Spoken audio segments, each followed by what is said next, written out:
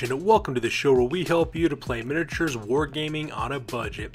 It is I, Commander Cheapskate, and we are back another episode of Cheap Shots. This is our series that is dedicated to helping you save money on the wargaming hobby. And on this episode, we're going to show you guys how to cheaply as well as quickly paint up an orc truck. So as you can see here, this is the photo of what the orc truck will look like by the time it's all done. Uh, you could use this for games of Warhammer 40,000. You could use this in Speed Freaks if you want to, um, or in my case, I'm going to actually actually use this orc truck for a game of uh, Necromunda. Um, as you guys are aware, we're working on a Necromunda narrative campaign that is set in the Ash Wastes, and in that Necromunda campaign setting, it's going to be vehicles based. So all of our gang members will have vehicles, and they'll fight it out in a very Mad Max style kind of gaming system that uh, that I created for my friends and I to play. Um, as as always, you could always go down below in the description. You can actually find the uh, links to the uh, to the downloads to my blogger site to get those rules if you want to do exactly the same thing for your campaign. But anyway, so this is what the end result of the orc truck going to look like. This is going to be for my gang, uh, the Jury of House Orlock, and the color for my gang is blue. And the grand total it's going to cost you guys to paint it this way using our cheapskate method is going to be $29.91 uh, total investment. That's assuming, of course, that you don't already have these materials on hand already. They have to go out and buy it all, all right? Now, if you compare this cheapskate method, the grand total $29.91, to what Citadel and Army Painter would recommend you purchase, we're talking about a difference in savings of $133.99. So that is a hunk of change that you can use for something else or not spend it at all. So because of that, that's what we're going to do today. So we're to show you guys how to paint up this truck very quickly and cheaply. So that being said, let's get this video on a roll. Alright, so the very first thing you do, of course, is to prime your miniature. In this case, I suggest you use Rust-Oleum Flat Black Primer. It is the cheapest can of primer I could find. Um, I got it at my local Walmart, runs me $3.99. And all you need to do, of course, is just dust the entire uh, surface area of the entire miniature in this black. Now, if you notice in this picture, I've actually done a sub-assembly with my truck, and I highly suggest you do exactly the same thing uh, when it comes to painting this thing, because there's a lot of nooks and crannies in the truck miniature, and it can get kind of frustrating to paint it up. So as you can see, what I've done is actually I've not attached the wheels, so I kept the wheels separate. I also kept the cupola that's attached to the uh, passenger side where you usually get attached weapons and things. I've kept that assembly totally separated. I also separated the chassis where the frame of the vehicle is with the engine block on it. And then of course I did exactly the same thing with the cab and the truck bed. I left that off uh, completely on the side as well. So just give it all the quick once over real fast with uh, black Rust-Oleum paint and then you're ready to move on. So the first thing we're working on is the tires real quick. And the first thing you do with that is give it a nice dry brush. The black already does most of the base coating for you anyways. So because that, all we need to do now is just dry brush it. And I will warn you guys ahead of time, uh, this whole method for painting this truck, it requires a lot of dry brushing is what it's used for. That's because we want to create a lot of weathering effects on this. So in this case, what I did is I just did a quick dry brush using Anita's gray acry uh, acrylic gray color that runs you 65 cents at your local Hobby Lobby. All I did, of course, is just give a nice heavy dry brush to all the tires to give it a nice weathered look look. As you can see, the gray caught all the raised surfaces in the miniature, adding some detail in the highlighting, at the same time left that dark black primer on the undercoats right beneath in the recessed areas. And the next thing I did after that, of course, is get another dry brush real quick with uh, Slate Blue. It's also made by Anita's Acrylic, runs at 65 cents at your local Hobby Lobby. I did exactly the same thing, just did a really light dry brush with a Slate Blue color to give it kind of even more weathered, more faded look to it. Because the campaign takes place in the Ash Waste, which is basically just a bunch of ash out there in the, in the deserts of Necromunda, I thought it just kind of be an appropriate color to use to make it look really neat. And uh, that's all we do right now for the tires. We will come back for the tires later when we work on the metallic paints, but for right now, for the base coat and the dry brushing, we're pretty much done with the tires at this point. So the next thing we're to work on now is on the cab of the truck as well, which is basically to be the passenger driver's uh, seats and as well as a truck bed in the back. So you can see in this one, I just did a really quick paint job on these. What I did is I grabbed a can of Krylon Color Master Satin Finished Oxford Blue Spray Paint, and all I did is I just gave it the once over real quick. I just put two thin layers of the uh, Krylon Color Master all over the entirety of the cab. I did the truck bed, the cab, underneath it, the sides, all of it. So basically I did is I just sprayed the entire thing once, uh, let it dry, it took about about 10 minutes for it to dry, and then I did a second coat right on top of it, and then before you know it, it is completely done. What this does is that because most of the truck is going to be blue anyways, it just kind of takes care of a lot of the painting services and saves us a lot of time as well. And since it's a nice satin finish, it has a nice matte finish when it dries, so it's a perfect thing to work on next. So once you get that done, time to move on to the uh, chassis as well as the frame of the truck. Alright, so now we're going to work on the chassis as well as the frame of the truck as well as the engine area. We're also going to work on the cupola that goes in the passenger side of the vehicle as well. And for this stage, you're going to use a heavy dry brush. So what I recommend to use is using Folk Arts Gunmetal Gray. It's a nice dark gunmetal color that runs about 75 cents at your local Hobby Lobby. And as you can see in this photo, I just did a really heavy dry brush right on top of all the black as well. Now the reason why we're not painting this and why we're dry brushing is because we want this structure to look very weathered and worn. So because of that, the black undercoating with the dry brushing of the silver on top already makes it look kind of weathered and faded, like it's been through some stuff, like it's been through some erosion and things. And that's the kind of look we want to go with on that one. So all you need to do, of course, is just do a really heavy dry brush and then you're ready to move on. So just to add another additional bit of highlighting on this one, I then dry brushed the entire miniature with Anniversary Silver by Folk Art. That runs about 75 cents at your local Hobby Lobby. And this is a really good product to use as well. And the reason why is because it's a very bright silver. So all I just did, of course, is just do a really nice, easy dry brush with this all over all the parts that I did in gunmetal gray. Helps to pick out some of the raised surfaces like the rivets and leaving the uh, leaving the darker metal, gunmetal color in the uh, in the recessed areas as well. At the same time, also adds a little bit of shine and depth to it. And uh, that's all you really need to do for all the silver parts parts on the vehicle for the frame, chassis, the engine, as well as the cupola. So all you gotta do is just do that real quick dry brushing and then we're ready to move on to the truck bed as well as the truck cab. So now for the truck bed and the truck cab, uh, just to catch some of the, add some more detail to it, we just did a quick dry brush real quick with Slate Blue by Anita's Acrylic Paint. This is the same stuff we used earlier to dry brush the tires. And what you need to do is just do the once over for the entirety of the structure. So for example, the little boom sticks I have right there, as well as the uh, the uh, polecat pole vaulting uh, pikes that I have left there on the, left, on the back of the truck bed. I dry brushed that. I dry brushed the entire cab as well as the entirety of the truck bed as well. And the reason why is because this slate blue does a really good job of catching the raised surfaces and highlighting it uh, for the while leaving that dark uh, Oxford blue color into the recesses of your miniature. So just do a quick dry brush with the slate blue to the degree of lightness that you prefer, and then you're ready to move on. And now it's time to go back to the uh, chassis as well as the frame. Um, on the chassis of the vehicle, as you can see there, I have like this kind of like uh, uh, armor plating that's in the front of the chassis right behind the uh, little ra uh, ramming prow that I have for the vehicle. So because of that, I want to make that armor plating blue to add a little bit of detail to the frame to make it look like it matches the rest of the truck bed. So what I use, of course, is Apple Barrel's True Navy. It's an acrylic paint that you can get your local Walmart. It runs you about 50 cents. And all I did, of course, is do two thin layers of True Navy over the entirety of the surface of the armor panels that I want to be blue. Um, just two thin layers will probably do it for the most part as well, or you can add more if you want to add a richer blue. But since I'm going for kind of like a weathered look, two thin coats is perfectly fine for me. So just add your two thin coats and you're ready to move on for a dry brush. And just like the cab as well as the truck bed, all I did of course is just a really quick dry brush using Anita's acrylic slate blue. It's exactly the same color I used to dry brush the cab. I did exactly the same thing with the armor plates as well. As you can see, it brings up the highlights for the raised surfaces like the rivets that covering the armor panels, while at the same time leaving that darker navy blue into the recesses of the miniature. Now, if you're worried about the blue of the armor plating from the True Navy matching the Oxford blue that's on the truck bed, I recommend not worrying about it too much. The reason why is because these two colors are extremely similar. I cannot tell the difference between the two of them, so it ends up being a perfect match, which is all kinds of good. So moving on to the rest of the frame, the next thing to do of course now is start picking out some of the detail aspects that are attached to the uh, framing of the vehicle. In this case, I've attached a heavy stubber from the House Orlock gang sprue to the uh, engine block to make it look like it's a synchronized machine gun that's attached to the engine block. At the same time, I also have some fuel canisters uh, on the left and right hand side of the frame that I want to pick those out as well. So for the machine gun, for the body of the weapon, I picked that out in uh, Holly Branch. There's two thin layers of that. It's made by Apple Barrel Paint, runs 50 cents. And I did two thin layers of ripe tomato by uh, Apple Barrel paint as well. It's a nice bright orange color and I put two thin layers on that as well. And uh, that also runs at 50 cents at your local Walmart as well. So just once you get done with those little details, now next part of course is to move on to a dry brush. So for the dry brushing, I use lime sherbet for the weapon casing that's on the heavy stubber. Just a quick drill dry brush with that. And then for the fuel tanks, I did another quick dry brush using Tropic Orange by Apple Barrel Paint as well. Both those products will run you 50 cents at your local Walmart. Just do a quick dry brushing to the desired lightness that you want in your vehicle, and then you're ready to move on for your next base coat. So the very last piece we're going to work on real quick is on the cupola for the vehicle. This is the passenger side cupola. As you can see in this image, I've attached a harpoon gun to the cupola as well as a, uh, a wrecking ball with a grab claw at the end of it uh, for this one as well. So what I decided to do is, of course, I picked out the detail of the harpoon gun's body using holly branch real quick. So I did that, just two thin layers of that.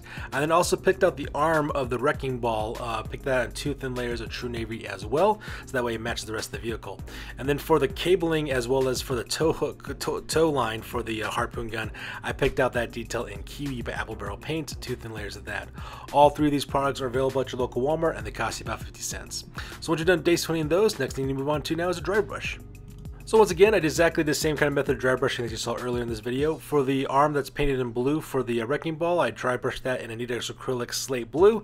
Uh, brings out some of those details, and then I also dry brushed the uh, body of the harpoon gun with lime sherbet as well. As for the cabling for the kiwi color, I just left that alone because I wanted that to be a very bright and vibrant color, so I just left that one alone for the most part. And now that we're all done with the dry brushing and base coating with the colors, now we're going to move on to the metallics and start painting on the metallics on our miniature. Alright, so here's the base coating now for the tires. We're going back to the tires now. The tires in the Ork Truck has a lot of armor plating put all over the tires on these parts.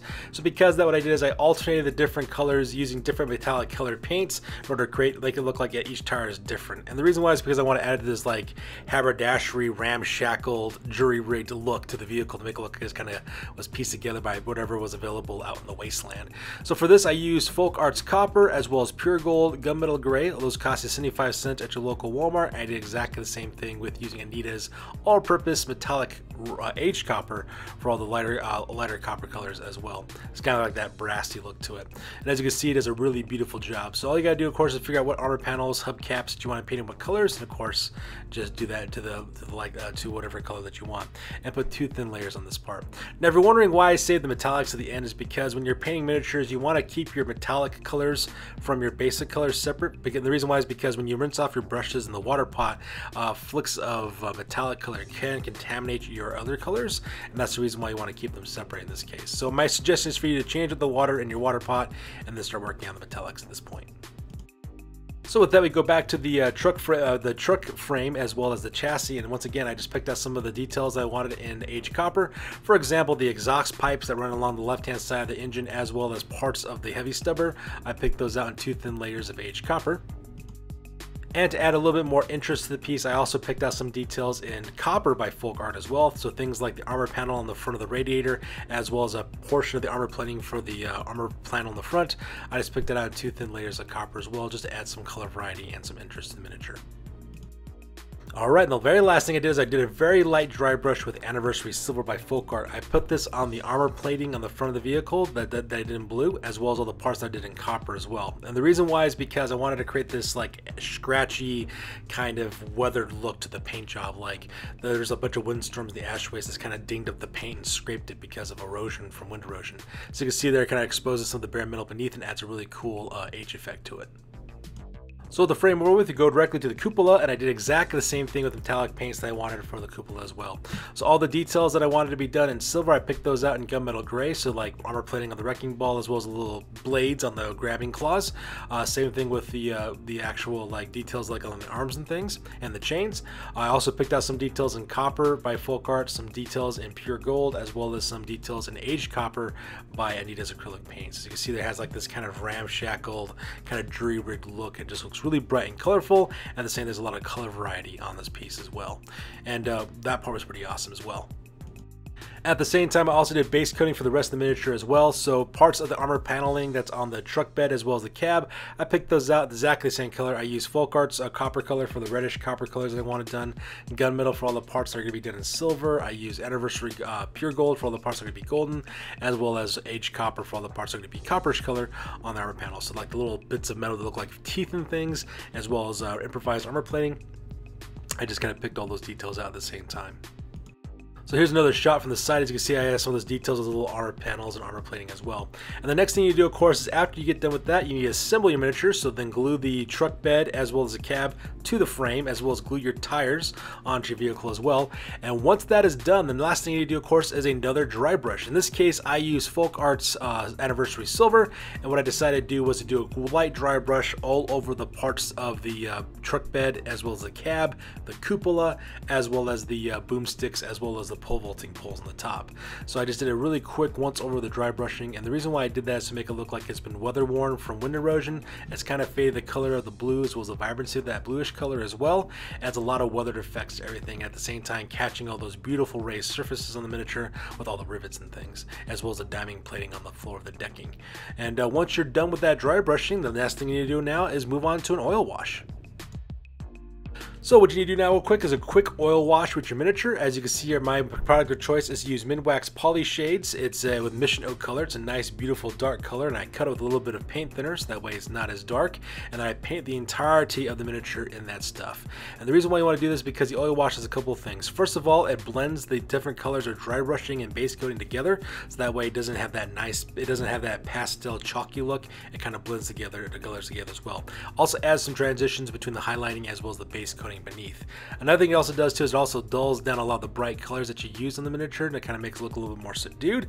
And the most important part about it is, of course, is that the oil wash goes into the recesses of the miniature and brings out all the details, like the little individual grills for the radiator plates on the vehicle, the rivets, the texturing of the metal, um, the links of the chain, um, the fabric look of the uh, the pole vaulting uh, poles, as well boarding pikes, as well as the uh, boomsticks. So all you need to do, of course, is do it once over with the poly shades and leave it alone. Uh, my recommendations for you is to let it dry and cure for 24 hours, and the reason why is that way it doesn't, it doesn't, you don't ruin the finish on it as well. Now, once you're done with that, the next part, of course, you could do the very last step is optional. You could just do it once over real quick as a matte varnish. Um, if you like the shine look or the sheen of, uh, of the oil wash in your miniature, you could of course skip this stage. Me, however, I like my miniatures to be a little bit more subdued. I don't like that shine on them, so I just give it a once over with some Krylon matte varnish, and then your miniature is pretty much done. And once again, here is the end result of what your miniature will look like after you use the quick cheapskate method order to paint up your miniature. As you can see, it's at a beautiful tabletop standard, and it's ready to bring some rot and ruin and some destruction to the wilds of the ash waste of Necromunda. And I'm super excited to see exactly how that happened. So with that being said, now ladies and gentlemen, we're going to, now that we talked about exactly how much it would cost and the materials you need to paint the cheapskate method, what we're going to do now is, of course, to show you a shopping list that, we, that you would need from both Army Painter as well as Citadel in order to do exactly the same thing we do with this miniature, only using those name brand paints and show you how much money you would save on all of that. At the same time, I'm also going to show you some pictures of this vehicle with the gang I plan on using for my Necromunda campaign. And at the same time, you can take a look at that as well. So that being said, let's get that segment on a roll. Alright, so for the Citadel method of painting, what the first thing you do is, of course, is buy a can of Chaos Black Spray to do the priming for your miniature. That's going to cost you 17 bucks. The next thing you do, of course, is all the parts you do dry brushing in gray. You'll need to buy Slaanesh Gray, which is $4.55 for that. And for all the parts that you're going to highlight in slate blue for all the detailing for the blue armor panels and for the weathering, you have to buy a pot of Fenrisian Gray, which runs you $4.55 for that as well. Now, for the truck bed, uh, the, the truck bed as well as the cab, you'll need to buy a can of Macragge Blue Spray in order to make that blue color, that's to run you $20 in order to do that. At the same time, if you want to do your metallic color, so all the parts are done in gunmetal, all the parts are done in bright silver, all the parts are done in gold as well as copper, you'll need to buy Lead Leadbelcher, Ironbreaker, Screaming Bell, and Retributor armor, and Brass Scorpion, all of which cost you $7.80 at your local Games Workshop uh, website or local gaming store as well. So that's for all the metallic colors. Now for the armor paneling that we painted on the front of the truck frame of the front of the vehicle, you'll need to buy a pot of Macragge Blue in order to paint that. That's going to run you about $4.55 as well. Now for all the details that we did in green, you'll need to buy a Caliban green, and for all the details that we did in orange, you'll need to buy a pot of Troll Slayer orange, and both you those run you $4.55 for those.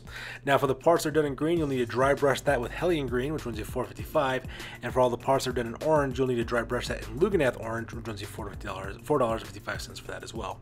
Now, as for the tow cabling for the harpoon gun that we have for our miniature, you'll need to buy a pot of Moot Green, which runs you $4.55 for that. Now, after you get done with that, you need to, of course, buy your oil wash. In this case, you'll need to buy Army Painter Strong Tone in order to do your oil wash for your miniature. That runs you $32 in order to do that. And of course, this part's optional, but if you want to put a matte finish on your miniature, you'll need to buy a can of Munitorum Varnish, or runs you $19.50 for that. Now, assuming that you purchase everything from Citadel and Army Painter for the very first time order to paint this way, you're talking about a grand total investment of $163.90 in order to paint it up. Now, if you compare that with the cost saving tips that we use with our cheapskate method of $29.91, we're talking about a grand total in savings of $133.99, which can buy you quite a bit of miniatures, or better yet, not even spend it all and just keep it for something else. So there you have it, guys. We're going to save you $130.99 using our cheapskate methods and how to quickly as well as cheaply paint an orc truck. So that being said, ladies and gentlemen, that's going to do it for this one. As always, please feel free to like, comment, and or subscribe. You guys' input is invaluable to us as always.